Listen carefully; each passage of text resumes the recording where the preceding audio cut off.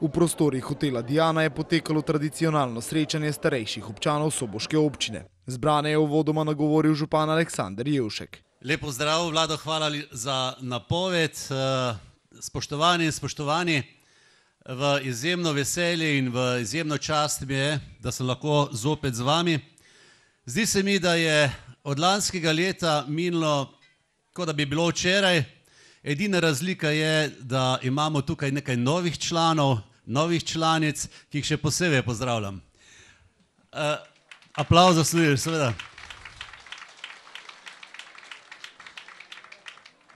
Kot vsako leto tudi do sedaj bom vam dal par statističnih zanimivih podatkov.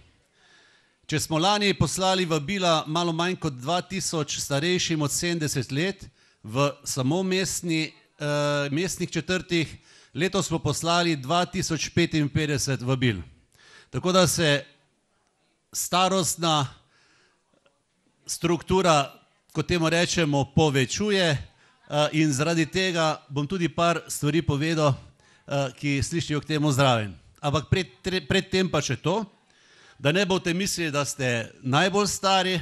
Mi smo prejšnji teden praznovali 109. rojstni dan uh, naše Matilde Serec v, v, iz Satahovec in njej tudi en aplauz dajte, čeprav ni to.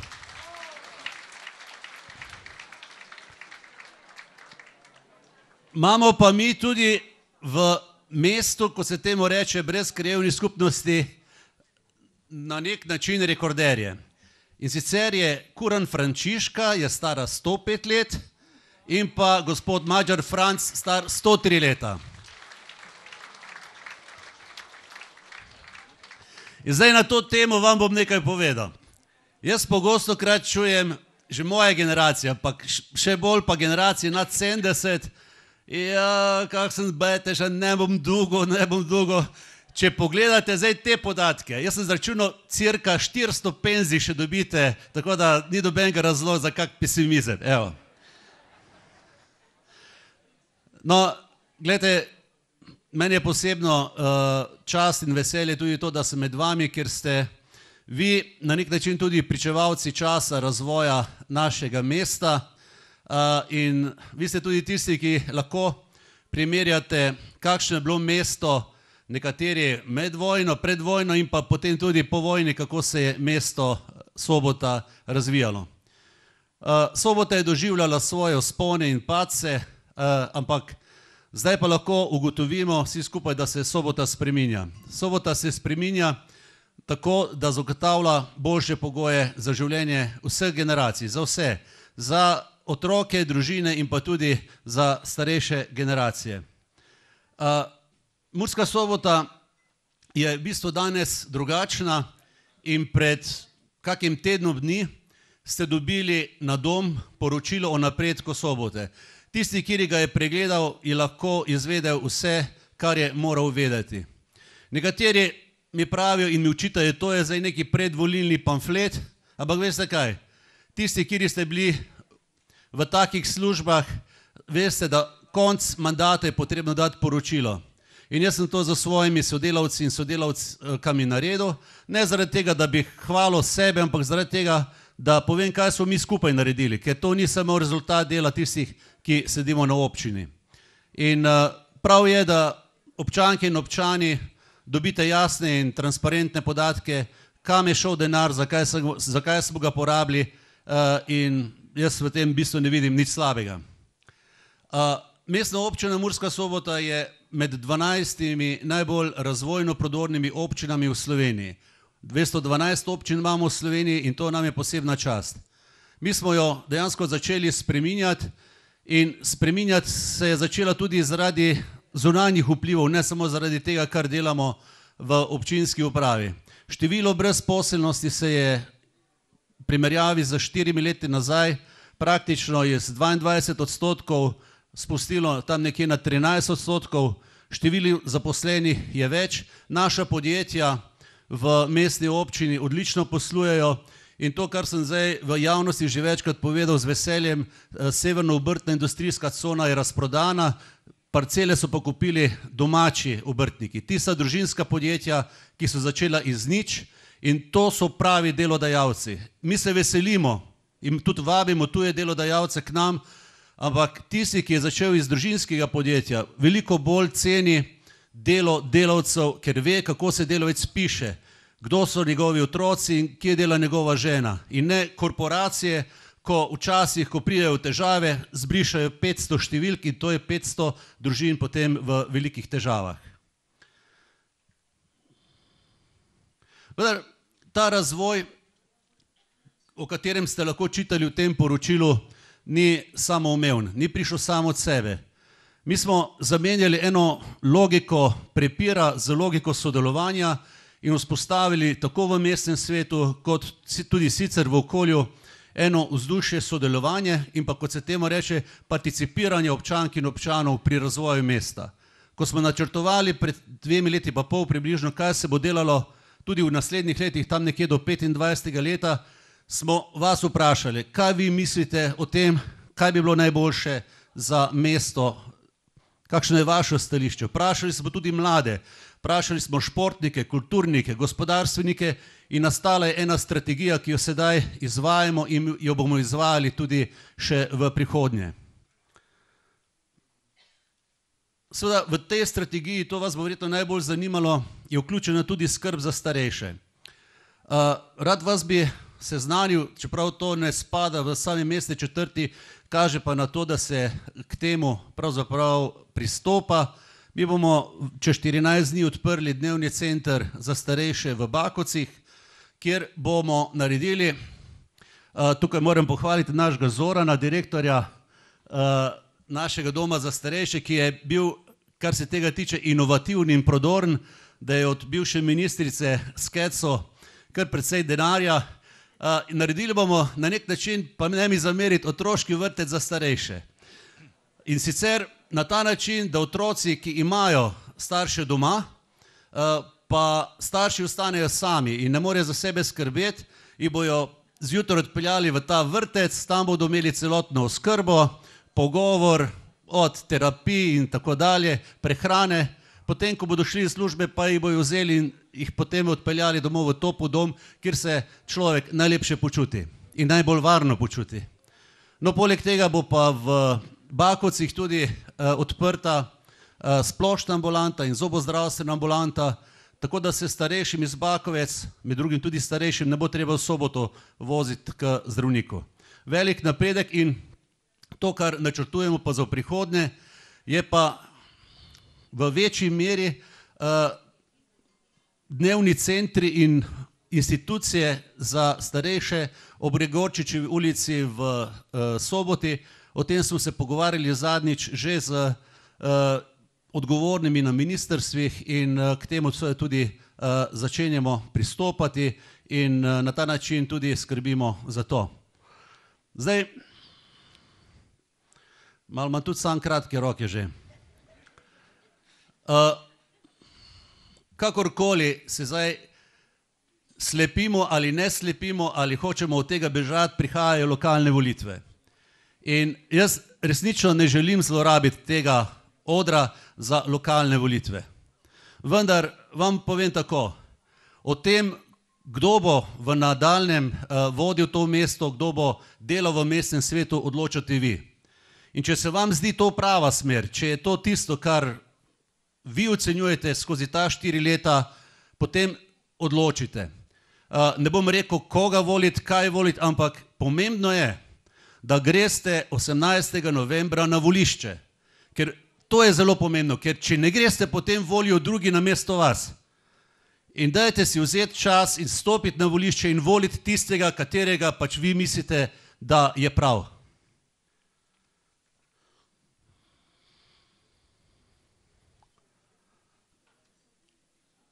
Okej, dobro, ostalo pa ne bom več govoril, ker sem že predolg. Glejte, kar se mene osebno tiče, se jaz vam vsem skupaj zahvaljujem, da ste me ta štiri leta podpirali in pa da smo se lahko družili tudi na teh srečanjih starejših nad sedemdeset let. Jaz bom kasneje, danes, danes imam malo več časa, danes nimam nobene obveznosti več in bom šel potem okoli pa se bomo lahko še pogovarjali. Uh, jaz vam želim, da se imate danes fajn in kot sem prej povedal, tudi za, uh, sem dal izjavo za televizijo, zakaj to organiziramo. To, to organiziramo, ta srečanje organiziramo skupaj z mestnimi četrtmi, ki se jim tudi zahvaljujem iz večjih razlogov. Prvi zaradi tega, ker na ta način tudi uh, pokažemo, da nam ni vseeno za starejše, kje so, kaj počnejo, da jih na nek način objamemo, da vas objamemo, drugo, da se tudi vi med sabo srečate in tretjo, kar je bilo pa tudi prvo, ker imamo vas preprosto radi. Bogat program so pripravile učenke in učenci osnovne šole Tri v Murski soboti. Spoštovani, iz osnovne šole Tri Murska sobota vam prinašamo tople pozdrave in vam želimo popestriti jesensko obarvan popovdan s pesmijo in plesom. Najlepša hvala, Ana. Žvokelj je bila tole, sedaj pa Ana Sofija Fišer iz drugega B, moj dedek, babica Zlata. Dajme en aplaus, prihaja Ana Sofija.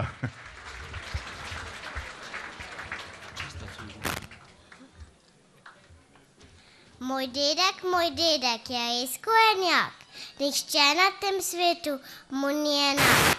Pod lipco se vsede, si pipo prižge in vnukom svoj srček odpre.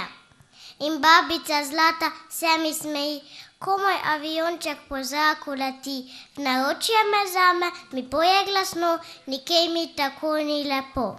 Sedaj pa prva glasbena točka, v kateri bodo nastopili eh, Žiga Grah iz četrtega A, in Marcel Meleš iz 4. B ter Kaja Šeruga iz 5. B. Njihova mentorica pa Tjaša Šimonka.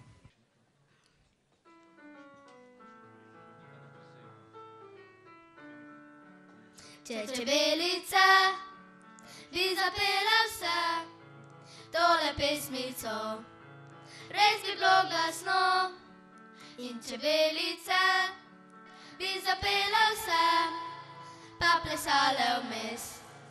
Ta čebeli ples, privke, pridne kot čebele, pridne naše punce so. Pridni, fantje in prijazni, punce vsak dan nas razvajajo. Če čebelice, bi zapela vse tole pesmico. Res bi bilo glasno in čebelice bi zapela vse, pa plesale vmes. Ta čebeli ples, sivka, naša je granica, sivka, res je naš ponos. Sivka, z nami bo zapela, sto čebelcev mi smo vsemu kos. Če čebelice bi zapela vse tole pesmico, res bi bilo glasno in čebelice bi zapela vse, pa plesale vmes.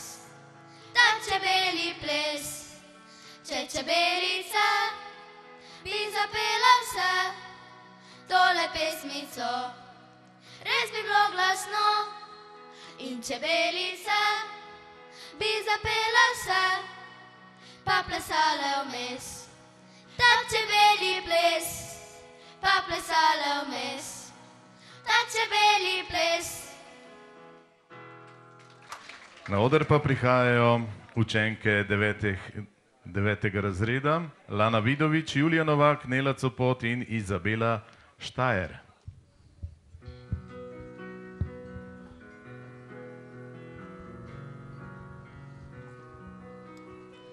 Le kaj v tvojih je očeh ta ples, ta let, Vse tvoje barve srca prelepe za oba.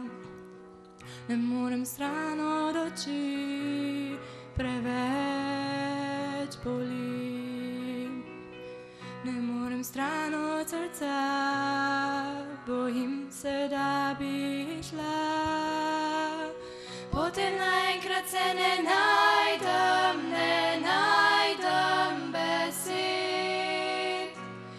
Te vidim, da greš mimo mene, a ne morem te objeti. Vedno bolj v glavi razbija in zvija telo. Tvoja slika v ogledalu nekaj, kar ne rabim razumeti. In nama ledenijo solze, pa bi morale zavreti. Dolgo je, kar ne spim, stoji bedim. Se nastavljam zverem, ne pijem in ne jem. So tvoje barve srca preveč za naju dva. So tvoji biseri v očeh pretemni za ta greh. Spet naenkrat se ne najdem, ne najdem besed. Ko te vidim, da greš mimo mene, a ne morem te objeti. Vedno bolj v glavi razbija in zvija telo. Tvoja slika v ogledalu nekaj, kar ne rabim razumeti.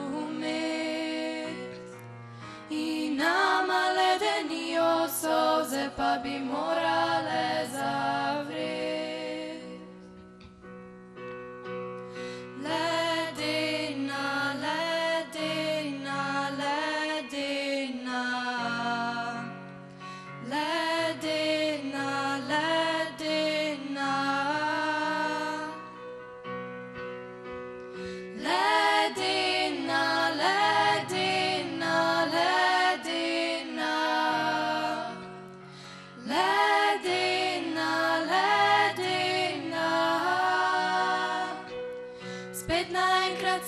najdem, ne najdem besed. Ko te vidim, da greš mimo mene, a ne morem te objeti. Vedno bolj v glavi razbija in zvija telo. Tvoja slika ogledalu nekaj, kar ne rabim razumeti. Nama ledenijo solze, pa bi morale zavreti. Zbranim je zapel tudi Drago Jošar. Ja, tudi v mojem imenu en lep dober pozdrav. Vsi pravijo, da se skoraj že, že sem skoraj med vami, ne? Tako dolgo sem pa je že tu, ampak ne vem, mogoče da je drugo leto, što je drugi, torej vas lepo pozdravljam in upam, da ste, da ste ta popoldan, lahko tudi ta večer, lepo zabavali in pa seveda tudi kaj zaplesali. In že prva pesmica je takšna, ki vas bo kar povabila na plesišče. Gospa, moj poklon. Lepa stara pesmica iz lepih starih časov.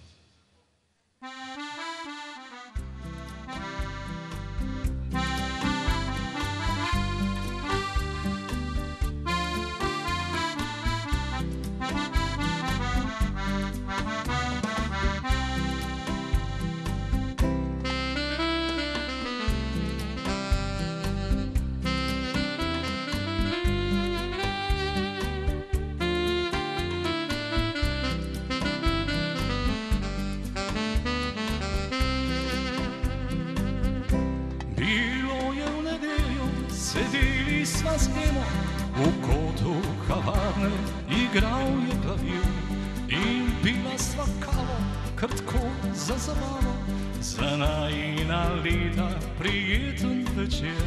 Takrat je pristopil lep moški po letih, na svojem obrazu želel je klepet, se rahlo priklonil, na to opravičil, na skimovskem kipu končala klepet.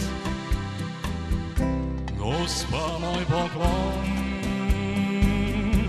kot najinih časih spet z vami zablesal bi rad, da begim. O, da dobro vem, da danes drugačen je čas, a vseeno iz vami zaplesal rad. Gospa moj poklon, vsi naj lepi trenutki, za hip naj se vrnejo pesmi tvej. Vse nedeljske zabave in vse promenade tistih dni, Dijani tedaj, toliko let nazaj.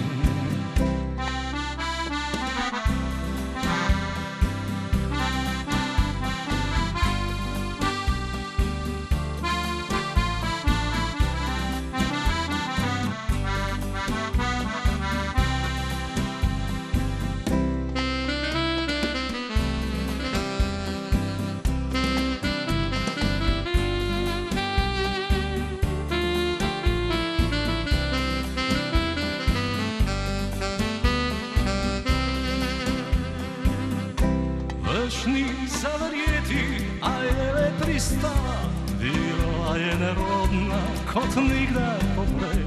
Potem jo prijel je in sta zaplesala, vse od takrat je drugače kot prej. Še danes povem ti, pod tolikem času se vračajo misli na tisti večer, ko sta plesala in se spoznala. Vse od takrat je drugače kot prej. Gospa, môj poklon. Na iných šasích svet s vami zaplísal i rád ta běgí. O, ta dobrovin, da danas drugačan je čas, a vseeno i s vami zaplísal rád. Gospa, môj poklon. trenutki zatihaj srne o pesmite Se nedeljske zabave in se promenade ti stigni Dijanite daj. Toliko let nazaj Dijanite daj.